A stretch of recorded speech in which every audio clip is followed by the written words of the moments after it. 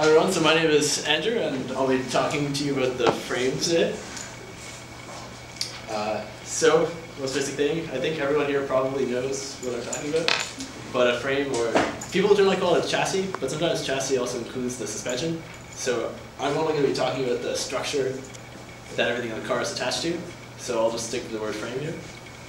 And that's pretty much what a frame is, that was last year's frame. So I was going to talk to you a little bit today about how you go about designing the frame. Uh, there's, these are the basic constraints. Uh, we have to meet the rules, which are mostly about driver safety. Uh, there's a matter of packaging everything, so suspension, fitting a driver, fitting the engine, those are sort of the major things. Uh, the main objectives for the frame are for weight and stiffness. Those are the two parameters that are really going to affect vehicle performance. So it pretty much needs to be as light as possible. And stiffness can be a bit more complicated. Uh, it also needs to be manufacturable, especially for uh, competition like ours, since we're building it ourselves. And repairable, since we're not really experienced designers, so things usually break at competition, or, well, ideally during testing. And lastly, it needs to be somewhat inexpensive, whether it be for the cost report or for the fact that we actually have to get material and build it ourselves. Uh, so, with these in mind, I thought I'd go over a few different types of frames. Uh, so, uh, last year we had a space frame. Uh, those are some of the advantages. It's very easy to access all different components. If you make it out of steel, it is repairable. you just weld in new tubes if anything breaks. Um, I call it the most structurally efficient. Uh, that's because for a race car, most of the loads are going to be point loads when you think about it. So whether it be the suspension, uh, all the suspension links are kind of like two force members, so you just have point loads everywhere. Uh, for seat belts, for the driver harness, those are all kind of like point loads. Uh, even like the engine mount, might have like six engine mounts, so you've only got loads really going in one direction. Um, so in that sense, you can sort of make the tubes follow the, those different load paths. Uh, so that's why I call it most structurally efficient. I'll get into that a bit more later. Uh, and lastly, for a space frame, you can actually use a few different materials. You can even make, make it of carbon fiber tubes. Uh, that would be pretty difficult for most Formula SAE teams. Uh, this year, we're hoping, oh yeah, those are some pictures of manufacturing of a space frame. You need to notch, to make it steel tubes of glass, you need to notch all the tubes. Uh, last year we got the tubes laser cut. Uh, you need to jig it, so you need to have some way of placing those tubes. And I guess obviously then you need to weld it. So those are a few manufacturing pictures. Another type of frame is the monocoque. So that's what we're going to be using this year. It's sort of like a one-piece shell-like structure, or tub if you want. Um, they're generally made with sandwich panels. So uh, sandwich panel looks like that. Uh, you sort of have two skins. They could be carbon fiber with something to space those two apart. The further you space those skins apart, the stiffer your panel will be, as shown here. Uh, so the stiffness pretty much increases 37 times if you increase the thickness four times. So that's sort of why it's so efficient. And we often use carbon fiber for those skins. Uh, that's a picture of unidirectional prepreg. So carbon fiber can either be unidirectional, where you have all your fibers going one direction, like in that picture, or it can make some sort of weave.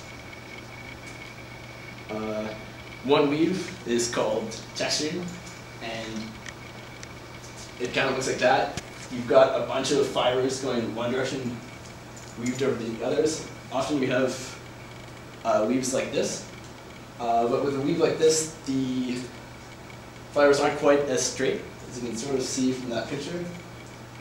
So there's some advantages and disadvantages to the different materials you choose. Uh, also, manufacturing a monocoque could be somewhat difficult, maybe more difficult than a space frame. You need to make molds. Uh, this year, our plan is to start by making a male mold uh, of, say, the outside of that monocoque shell that you saw. Although, since you'll need to cure it, uh, usually at high temperatures, because uh, when you use carbon fiber, you also have to use something called resin uh, that basically holds the fibers in place, and you need to cure that at high temperature so that it hardens. So you can't really use something that's machinable, like a material like that, which is sort of like a wooden material. So you need to make another mold from that mold. So generally you start by making a male mold, then you can make a female mold out of something like carbon fiber that can be used at those high temperatures. And once you have that mold, you can then start cutting material for your actual chassis and can lay it up in the mold. Uh, sometimes in aerospace they'll use laser projection machines to orient certain plies at different angles. And then once you've laid it up in your mold, you can cure it in an autoclave. So that's sort of a brief overview of how that works. And you can't really make it in one piece usually, so people try to make it in at least two parts, so that's sort of what that looks like. Uh, and I mentioned that repairability is important for FSAE. Uh, it's usually pretty difficult to repair things out of composite materials, but it is possible. So that is a bit of a drawback of choosing a monocoque. One other type of frame that I'd mention is the aluminum monocoque, which I guess was popular in Formula One in the 70s. And that has aluminum face sheets with probably some kind of honeycomb core. Uh, so one other important thing to designing frame is that you need to do some kind of analysis. Uh, I mentioned that there's the whole like driver safety thing that's important. You need to make sure that it's strong enough so that if you get into a crash, that I guess uh, the driver will be protected. Or you'll need to make sure that it's durable so that whatever loads are on it during the season uh, don't result in things breaking. Um, so typically, since it's such a complicated structure, you can do some time calculations, but we often use sort of a, something called finite element analysis, which looks like that. It's kind of difficult to explain, uh, but you can pretty much, I guess it's sort of something you learn in your courses, so I won't actually get into too much detail here, but uh, you pretty much use like kind of like discretize the structure into a bunch of small parts. And on those you can use like the equations of equilibrium and things like that. And using that you can figure out how much things will deflect or how much stress you'll have in certain materials and things like that. So that's sort of a useful tool that we use. Uh, and last year something that was cool was we made a model that looks like this of, the frame, and we included the suspension and to validate that, we did some physical testing. Uh, I mentioned that stiffness is important to a frame. Uh, one particular type of stiffness that's important is called torsional stiffness. So if you were to, say, twist the front axle, so here there's like a, a weight uh, on each side, but there's a pulley mechanism so that you kind of apply a torque at the front axle, and here the rear hubs are fixed. You can get a load like that uh, in a corner, and so it turns out the frame needs to be fairly stiff. Otherwise, that'll, the stiffness of your frame will affect your load transfer in the front and rear and could cause understeer or, or oversteer. So that's why torsional stiffness is, is important. So we did a physical test of last year's frame to find out what that torsional stiffness was. And then we compared it to our simulation. Uh, in the physical test, we did just like in that picture, and we applied a torque at the front and kept the rear fixed. And to figure out how much the frame was twisting at different points, we put these long steel bars, and I don't know if you can see it, but at each end we put dial gauges. So from that, we could figure out how much the frame was twisting. And we did that at several points along the length of the car. So basically here, here, here, and here. And then we made a plot of how much it twisted versus the position, if you want. Uh, so the curve in red shows the simulation results, and the curve in black is the actual test results. So they're actually relatively close. In the rear, there's a lot of error because I didn't include the, the engine in the model, and the engine actually stiffens the frame quite a bit. But for the whole frame, you can get a value for the torsional stiffness, and they're up there at the top left. So they're relatively close, that the model is pretty simplified. Uh, another thing we have to do is, especially this year since we want to use a monocoque, uh, it's very difficult to get material properties for things like carbon fibers, so we do some material testing. Uh, that's a picture from last year. And then we can use values from those material tests in our FE model and so forth.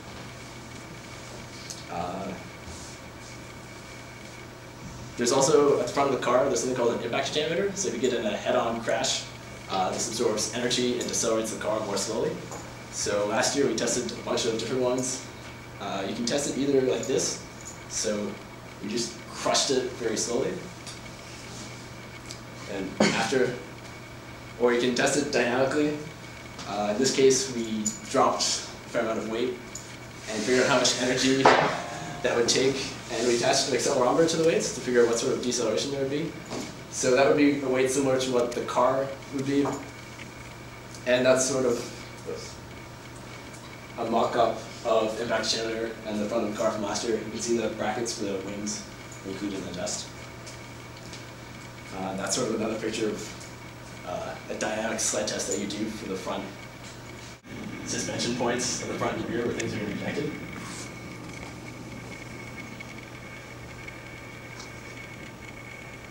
So we'd have like a AR on the front with the front be push rod. So I mentioned before that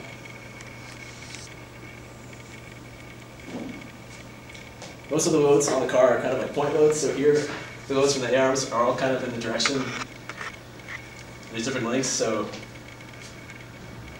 it's one thing to consider when you're designing it. Uh, the other thing is you have to have a front hoop and a main roll hoop according to the rules. So if you get in a rollover, uh, there has to be this sort of like roll hoop.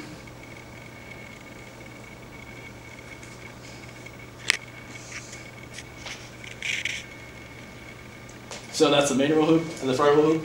According to the rules, they have to be steel no matter what kind of frame you use. And you have to have a steel main hoop bracing. So that's the main bracing. Uh, the other thing is you have to have some sort of front bulkhead, it's called. Um,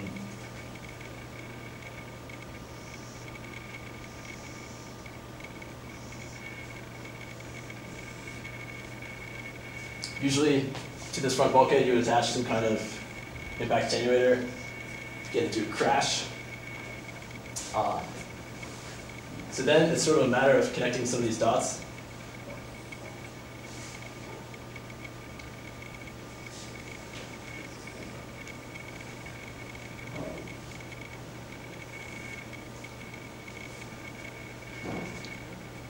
And yeah, so then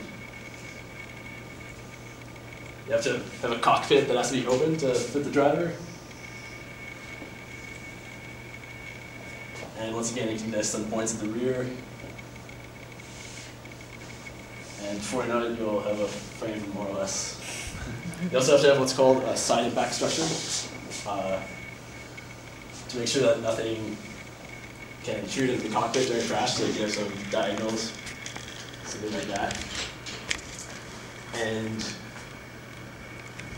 the only other thing is you might want to have this, some of these major loop points, like where the suspension connects, well triangulated. Uh, that turned out to be a little bit harder to draw than I thought. but that's sort of the gist of it. Uh, yeah, and then a lot of these things, the rules are going to fill in.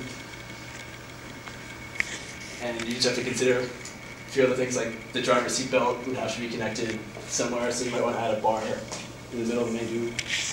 There's uh, an engine at the rear somewhere, so you'd have to fit that in. And generally, if you've taken even a course just like Mechanics 1, you know that uh, a space frame is most efficient if all the tubes are only in tension or compression. So you ideally want to have things at nodes. and not say right in the middle of a tube. And even it's the same for a monocoque also. Uh, the load's still going to travel in the same directions, so sort of a thing to consider. Good question. Yeah. Go ahead. Yes, please. Oh, okay. Um, are, for the monocoque design, are there places that have sort of, that are more hollow or less thick? Yeah. I'm saying like, d- does it make sort of that kind of design, but with your carbon fiber? Yeah, it makes it makes sense sort of to you could change the number of like uh, skins that you have in different regions. You could change the core thickness. You can also put unidirectional carbon fiber along certain directions. So this year we're planning to put unidirectional carbon fiber where some of the tubes were last year. Since like the load's still gonna travel on those paths. Is there, uh, is there a lot more analysis that you do for a composite frame than for a space frame? Uh, not necessarily. Uh, I didn't mention it, but there's two sets of rules you design a frame to. There's the baseline rules, like what we used last year, where they specify, say, like outer diameters and wall thicknesses for all the tubes. And if you use the baseline rules for a monocoque, you have to show that your, I guess, sandwich panels in those regions have the same properties as the steel tubes that are in the rules. So if the rules say that you have a one inch on five tube, you have to show that your sandwich panel uh, has the same stiffness and bending or ultimate strength and tension. You can do that with hand calculations. But this year, we're using the alternate frame rules. And those are actually seven load cases. Uh, things like a rollover situation or uh, for, say, where the harness attaches. And for that, you have to do FEA to show that you can pass those load cases. So this year, there will be more FEA for that reason. But yeah, that's the only reason why we'd have a lot more simulation this year. Not really so much just because of the modifier. If you want to show off your And for the alternate frame rules, you have to submit something called a notice of intent. So uh, the SAE has a sample space frame on their website. And this year, we submitted that notice of intent so they can do the alternate frame rules. And we analyzed their sample frame under those seven load cases. Like this report was submitted last Friday, so this frame here is not our frame, it's a, like a frame that the rule committee like gave us to analyze. And then they see, you know, are we competent in our, our analysis?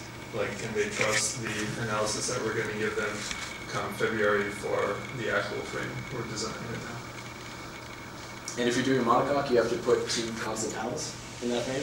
So I modeled them here with 2D shell elements, and the panels are in the side impact structure and right there. Uh, So for those of you who were there for, uh, for Philip's presentation on uh, FEA, this is a good example of how you can combine different kinds of elements into a finite element analysis. So like Andy just said, uh, we're using like these one-dimensional idealized beam elements to model all of the tubes. And the panels are actually these 2D elements that are like little squares. yeah, and that's one of the load cases